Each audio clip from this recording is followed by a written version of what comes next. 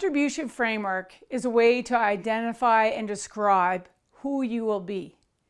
What are the attributes of your market, knowing what they are, and what are the key factors and features that the industry is competing on? Because we really don't want to compete on the same factors and features as everyone else in the marketplace. We want to find the white space.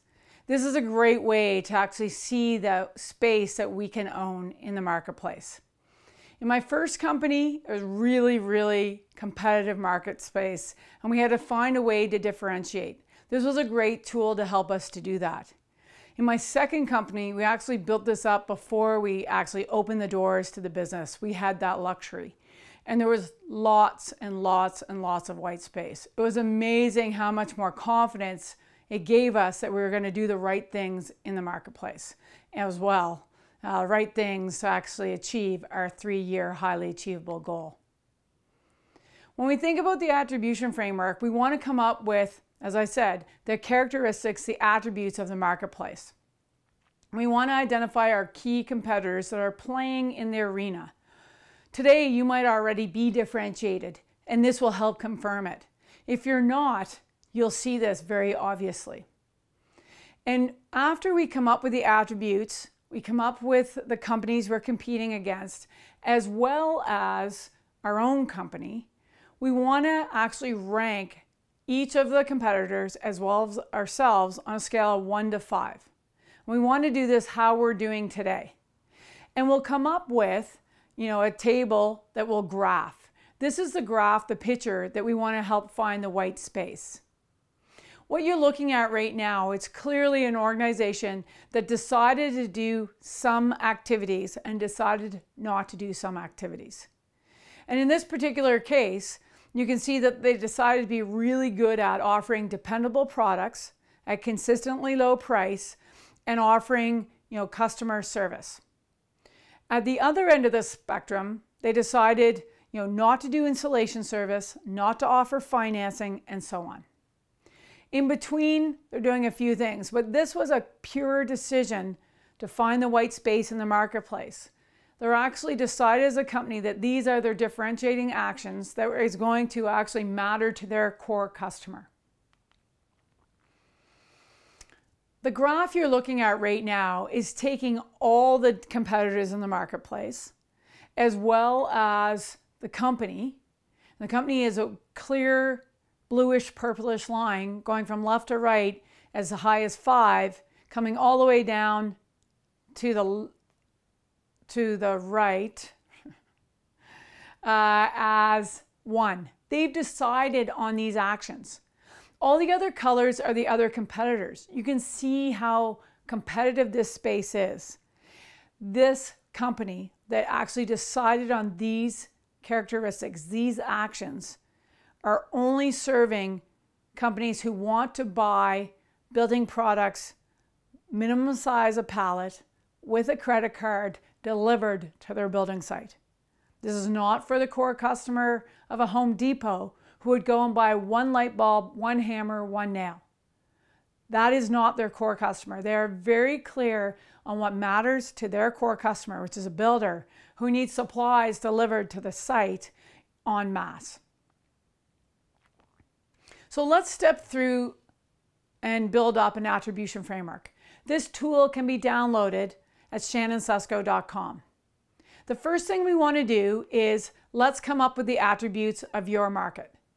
So if you're by yourself or with your team, it doesn't matter. We've got to agree on what the attributes are.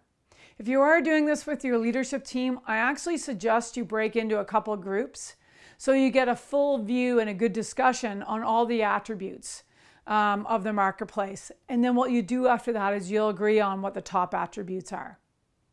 The next thing I want you to do is then rate your organization on a scale of one to five, five being the best, one being the worst, on how you're doing. I just want to caution you, you can't be a five at everything. And you and you know you can't you can be a one at everything, and that'll give you some good ideas on what you might want to do differently. But be as honest as you can. And I've gotten lots of feedback that this is super subjective. It is. What this tool is for is to drive the discussion.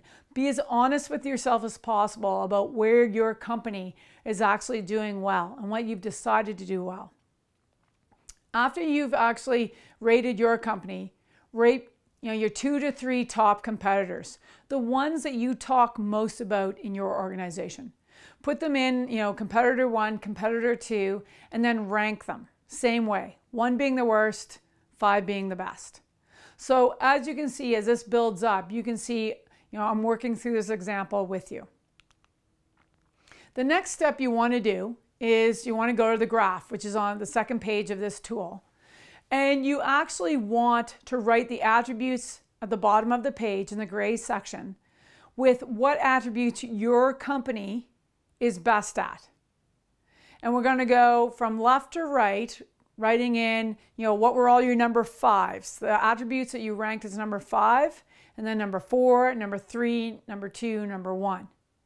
Then what I want you to do is actually map your company onto the graph. So it should start with, you know, if you're going, you know, five, four, three, two, one, you're going to start on the left-hand side, you know, up in the five category. You're going to work your way all the way down to the right-hand side. Your line will end up, you know, rating whatever those attributes as a one.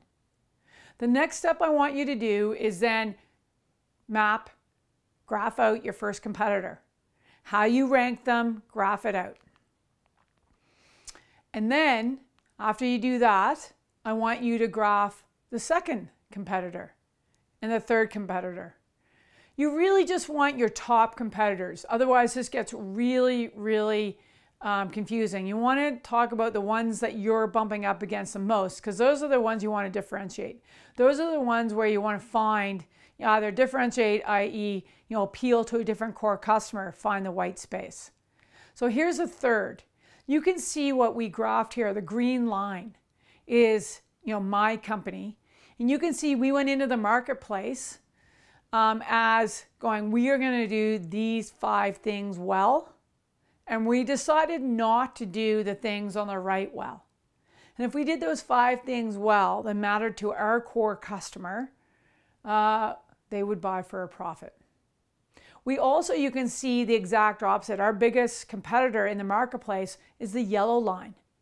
They are exact opposite of what we were. Beautiful. That's what you're looking for. Find the white space. Now, this is done, you know, in a way that we actually, you know, went into the marketplace thinking about this, you know, looking to execute these activities. If if you haven't, you know, thought about it that way and the graph that you're looking at is, you know, really quite busy and you all look the same, maybe you're all rated the same. That means there's going to be a lot of white space above the line.